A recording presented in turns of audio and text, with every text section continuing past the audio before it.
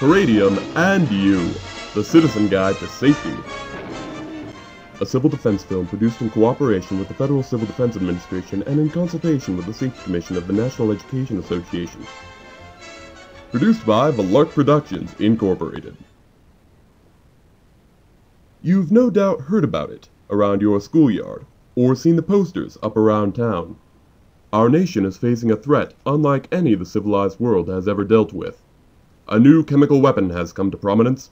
You may know it as the Jots, or bleeding frenzy, or the insurmountable white-hot razor needles of agony, or stabbies.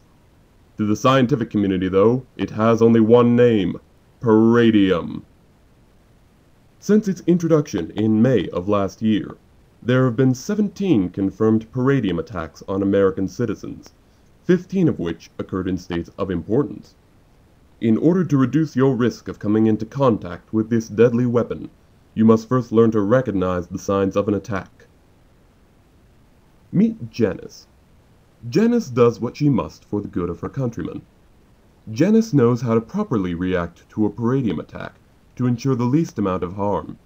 And a lucky thing, too, as Janice has just accidentally inhaled a small amount of the powdered chemical. Once in her system, the paradium acts fast, moving through the bloodstream and into the bones, where it springs into action. Wasting no time, it begins to liquefy the bone marrow, and raises it to a rapid boil, causing pressure to build up and temperatures to rise. Janice recognizes the telltale sensation of being cooked from the inside out, and knows that she is at the epicenter of a paradium attack. She knows that she has twenty minutes before her bones explode under the pressure of her liquefied marrow. As a courtesy to others, Janice screams in agony and panic to alert others of the impending danger. If they're lucky, they haven't been exposed to the paradium and can evacuate the area around Janice unharmed. After 20 minutes, the pressure becomes too much, and her bones explode outward in a sloppy mess of blood and boiling marrow. So remember, kids, if you ever find yourself poisoned with paradium, be like Janice. Know the signs of an attack. Scream in agony to alert those around you and allow everyone in the area to evacuate to safety. Because of the safety steps she took, evacuations could be made in a timely manner, and for that we thank you, Janice. Now that you know what an attack looks like, there are some important facts you need to know about paradium. Paradium poisoning can occur in several ways. It can be inhaled from the air, or ingested in food or water. Bear in mind, infants and young children are especially susceptible to paradium. Not all paradium attacks are fatal. For instance, only 50% of paradium attacks result in death by laceration wounds or blood loss.